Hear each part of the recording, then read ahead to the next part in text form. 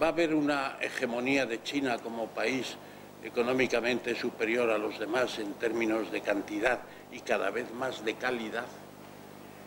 Eh, va a haber un enfrentamiento entre China y Estados Unidos, entre el dragón y el águila,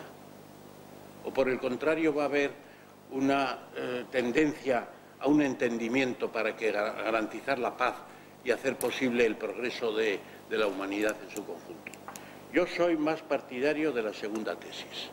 es decir, que habrá entendimiento. ¿Y por qué habrá entendimiento? Primero porque ya hay simbiosis económica. Esa es la pregunta que ayer abordó el catedrático en su ponencia celebrada en el Hotel Bahía de la capital, a la que acudieron muchas personas a las que el título de su intervención, China Tercer Milenio, el dragón omnipotente, les había despertado curiosidad. Se trata de uno más de los cursos que el Centro Montañés diseña para los estudiosos de temas económicos y que, según el propio Tamames, ayudan y mucho a entender los problemas que vivimos en la actualidad dentro y fuera de nuestras fronteras. En su intervención destacó hitos como que en el año 2017 el Producto Interior Bruto de China se equiparará al de los Estados Unidos, una tendencia que parece clara entre los economistas, pero lo que no es tan sabido es que años después, allá por el año 2030, China será tres veces el tamaño de Estados Unidos, algo que a su entender no es una señal fatídica,